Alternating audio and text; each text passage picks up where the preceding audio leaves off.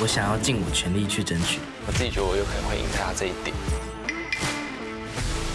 미션은 바로 K-pop history 커버 미션입니다. 각 세대를 대표하는 보이 그룹들의 노래를 자신만의 색깔로 재해석해야 되는 미션인데요.